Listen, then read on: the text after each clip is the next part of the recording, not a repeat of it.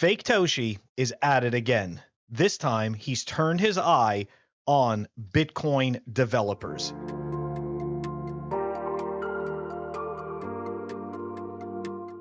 All right, let's take a look at this tweet here from WooCoin or at hascendp6. Here we go. FakeToshi versus devs, December 7th and 8th. A quick pre-hearing recap.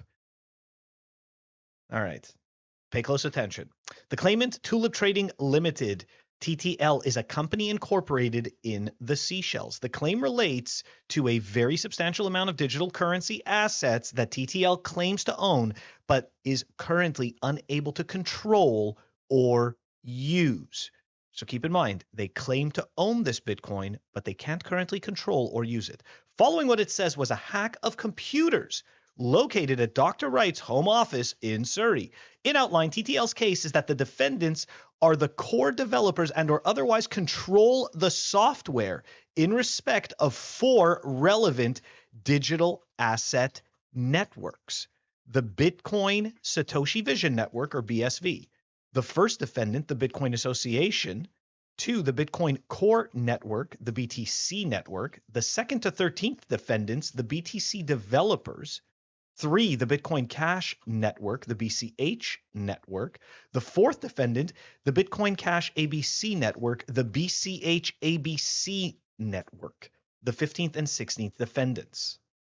TTL claimed that the defendants owe it fiduciary and or tortious d- duties which have the effect that they should assist it in regaining control and use of its assets.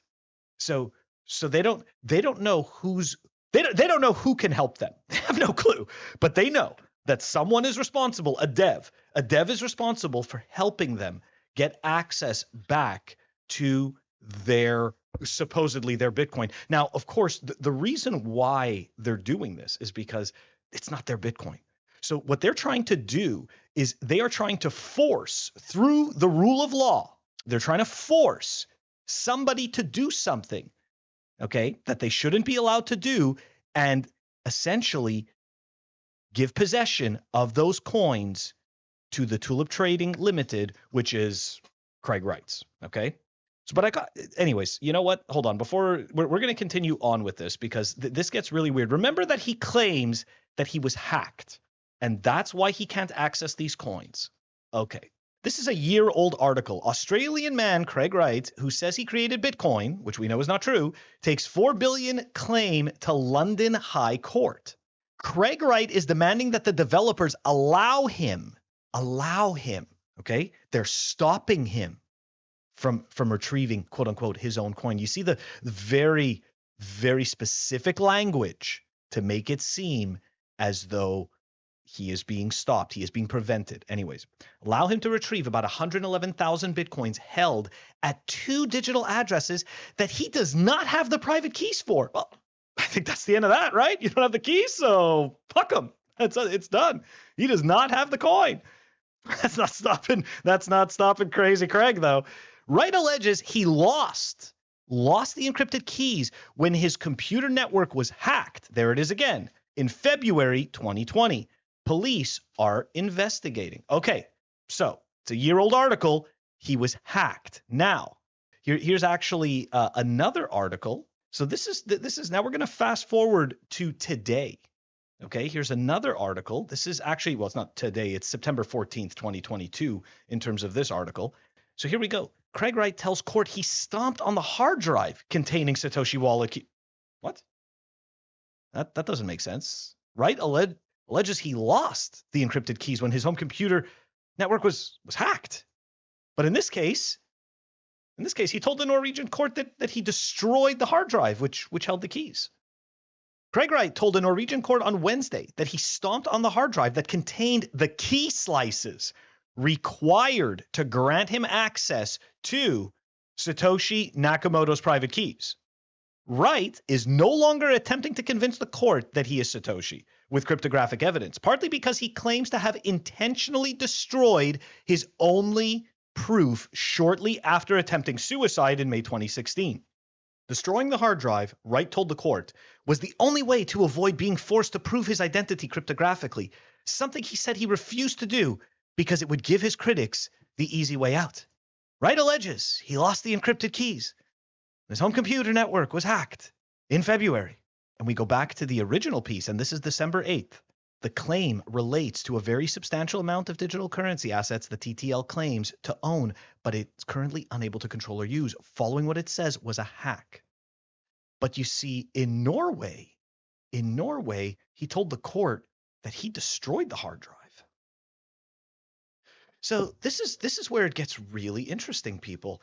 Craig Wright just essentially, I mean, he, he just blatantly got busted. Number one for lying.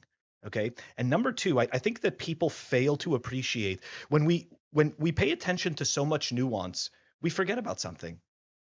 He's claimed to be Satoshi all of these years.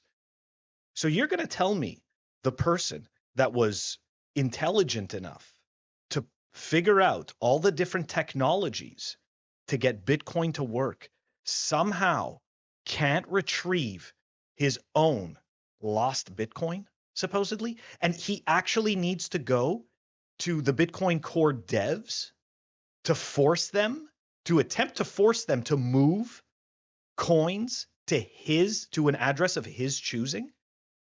This is completely insane. I, I am so shocked that anybody even entertains this bullshit.